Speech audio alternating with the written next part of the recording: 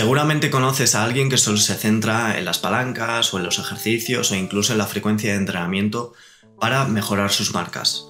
Todo esto está muy bien, pero es insuficiente. Este vídeo lo hago porque realmente es importante entender qué es la forma deportiva y por qué no solo te tienes que quedar con los ejercicios, las palancas e incluso la frecuencia de entrenamiento, sino que además tienes que entender un poco más. Todo esto está muy bien si quiero mejorar mi rendimiento deportivo. Pero ¿cómo puedo tener el mejor rendimiento deportivo cuando a mí me interesa? La forma deportiva se tiene que entender como un proceso a largo plazo y no como un proceso a corto plazo en el que por ejemplo solo se desarrolla en el periodo competitivo o en un día en concreto. Es el resultado de una buena periodización y de un buen manejo de la fatiga y de la recuperación.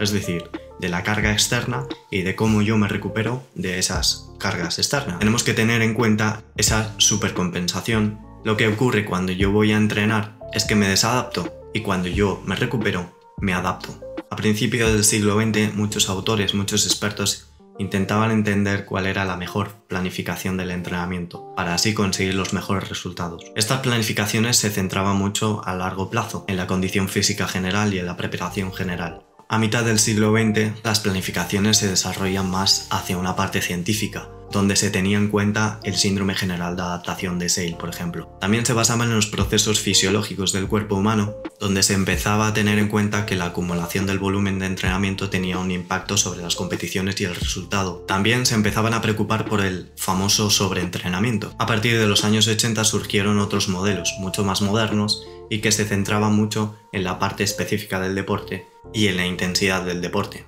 Por ejemplo, surgió la periodización ondulante por bloques, integrador, el cibernético o el ATR. Todos estos modelos tratan de conseguir la mejor forma deportiva, pero realmente ¿cuál es mejor? Bien, aquí tengo que decir que yo he probado algunos de estos y la verdad es que me quedo con el de periodización ondulante. ¿Por qué? Porque se adapta muy bien a mí, se adapta muy bien al deporte y al contexto en el que yo me encuentro.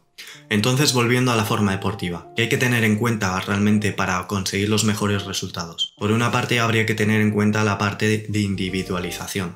La parte de individualización no solo consiste en reducir el volumen, aumentar el volumen, reducir la intensidad o aumentar la intensidad. Tiene que ver con palancas, con estrés, con el sueño, con el ciclo menstrual o, por ejemplo, con la genética. Para poder aterrizar todo esto un poco más, tenemos que tener en cuenta las tres P's planificación, periodización y programación del entrenamiento. Sin estas P's no tenemos ninguna base y realmente yo no puedo planificar absolutamente nada. Empezando con la primera P, la P de planificación, esta es única, flexible, compleja, específica y personalizada. ¿Esto qué quiere decir?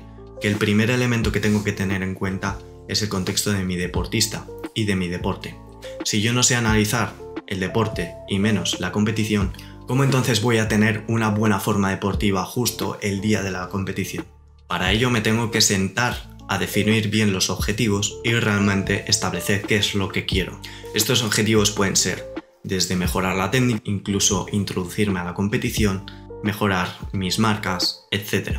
La forma de estructurar esta planificación puede ser con un macrociclo, mesociclos o múltiples microciclos. También tengo que definir bien qué contenidos voy a trabajar y a lo largo de cuánto tiempo también de qué recursos y medios dispongo y luego cómo voy a monitorizar las cargas de entrenamiento. Después nos encontramos con la periodización. La periodización son los periodos donde se van a desarrollar las capacidades físicas y técnico-tácticas.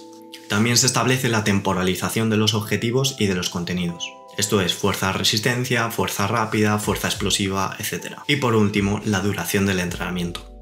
Finalmente, en la programación tenemos los objetivos a corto plazo, ejercicios, y cómo distribuyo la carga diariamente. Para concluir, la forma deportiva realmente es interesante tenerla en cuenta porque realmente si yo no planifico bien qué es lo que tengo que hacer, al final, si no sé lo que busco, no sé lo que encuentro.